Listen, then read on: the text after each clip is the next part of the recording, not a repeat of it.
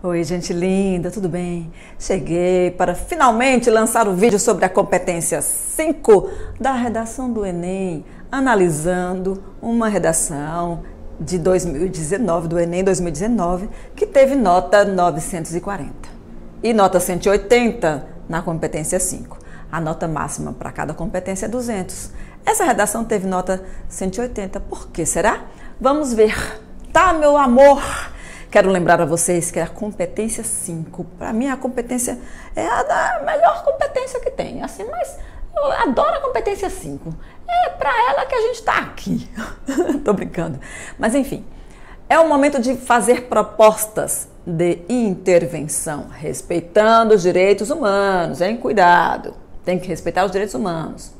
Não pode dizer assim, ah, a solução para esse negócio é prender todo mundo, matar todo mundo. Pelo amor de Deus, hein? Respeite os direitos humanos. Pelas Deus, os direitos humanos para o mundo, enfim. Proposta de intervenção, tá, meu amor? Tem vídeo sobre a competência 5 já, vou colocar no izinho e vocês assistam também depois que terminar isso aqui. E agora vamos ver a redação que nós estamos analisando e vou colocar no final do vídeo também a playlist. Gente, esse vídeo vai ter mais de 8 minutos no total. Todos os vídeos que têm 8 minutos ou mais, nós, youtubers, podemos manipular o momento de colocar a propaganda. Então, vou colocar a propaganda logo depois desse papinho aqui e antes de começar a leitura da redação e a análise, tá? Assista a propaganda completa, eu vos peço.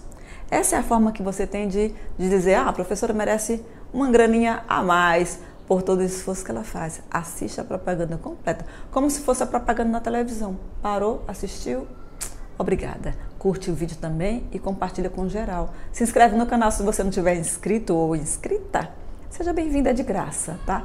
Aulas completas, análise completa de cada opção, de todas as opções da, da prova de linguagens. No final desse vídeo vai ter, vai ter em algum lugar da parede aqui, algum lugar, as playlists Linguagens Enem com mais de 159 vídeos e, as, e, e cinco competências da redação. Tá, meu amor?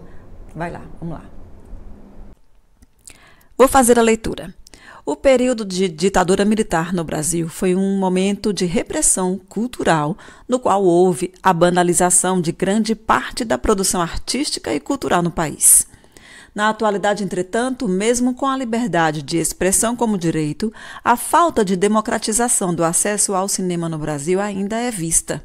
Sob esse viés, é necessário observar como o capitalismo exploratório e a falta de incentivos à cultura influenciam negativamente nessa problemática. Em primeiro ponto, faz-se necessário entender a influência do capitalismo exacerbado. Dessa forma, Karl Marx, em seu livro O Capital, defende, defende que os grandes capitalistas visam o lucro desenfreado sobre o proletariado. Analogamente, o alto preço dos ingressos para entretenimento reflete em como os empresários do cinema visam os lucros extraordinários.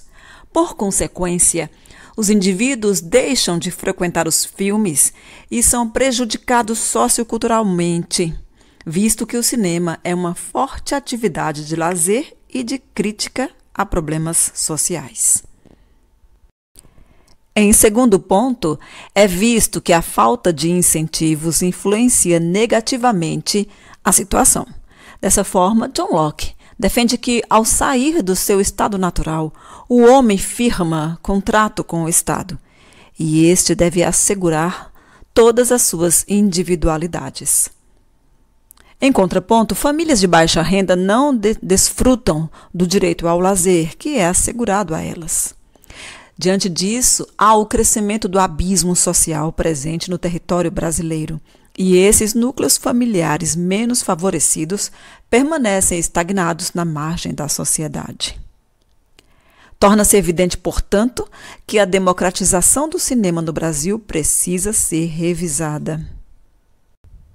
Cabe ao Ministério da Cultura criar um dia do cinema, definindo uma data por mês com entrada franca em cinemas brasileiros. Dessa forma, será dado lazer e criticidade para os cidadãos. Ademais, é necessário que o governo federal crie uma lei em conjunto com o legislativo que assegure meia entrada para indivíduos provenientes de família com renda per capita de até um salário mínimo. Desse modo, o abismo social será diminuído e os menos favorecidos terão os seus direitos assegurados. Somente dessa forma o cinema será democratizado e o direito à cultura, que foi tomado na ditadura, será usufruído por todos. Competência 5. Apresentar uma proposta de intervenção para o problema abordado, respeitando os direitos humanos. Muito cuidado com os direitos humanos, pelas deusas. Gente, vamos ver então como foi que o Hugo apresentou a proposta de intervenção neste, na redação que nós estamos analisando, tá? E não deixa de ver o vídeo que está no izinho, que é sobre a competência 5 também. Beleza? Olha aí, vamos direto para o último parágrafo, tá? Começa na linha 20 ali vai até a linha 28. É, Torna-se evidente, portanto, que a democratização do cinema no Brasil precisa ser revisada. Olha só, você vê que na primeira frase ele já aponta para a, a ideia de que vai apresentar proposta, né? É, precisa ser revisada. Isso aí já é uma proposta, né? É, ela é uma proposta mais ampla, ainda não está dizendo quem é que vai fazer, vai cumprir este papel de revisar, mas ele já está dizendo que precisa ser revisada. Então, isso já pode ser considerada a primeira proposta, ainda sem o agente, aquele que vai agir para realizar a proposta. É muito importante indicar o agente, tá, gente? Toda proposta deve vir com quem vai cumprir a proposta. Então, o início, a primeira frase do último parágrafo abre a ideia de que eh, serão apresentadas propostas, mas delas devem ter os seus agentes, as pessoas que vão agir e fazer aquilo. Então vem a segunda frase. Cabe ao Ministério da Cultura criar um dia do cinema, definindo uma data por mês com entrada franca em cinemas brasileiros. Adorei essa proposta porque ela é bem objetiva. Ela diz quem é que deve cumprir, que é o Ministério da Cultura, e ela diz é, o, o, que é, a proposta diz o que deve ser feito e como deve ser feito. Isso é excelente. É uma proposta e um agente. Ou seja, foi a primeira proposta de fato com agente, tá? E depois ele vem assim: dessa forma será dado lazer e criticidade para os cidadãos. O resultado de ser cumprido, cumprida a proposta. Excelente. Primeira proposta com agente e resultado. Perfeito. Continuando, ademais, é necessário que o governo federal, estamos na linha 23, né? Que o governo federal crie uma lei em conjunto com o legislativo que assegure meia entrada para indivíduos provenientes de famílias com renda per capita de até um salário mínimo. Segunda proposta, com a gente, envolve o governo federal e poder legislativo, quer dizer, o poder executivo, né, federal e poder legislativo federal.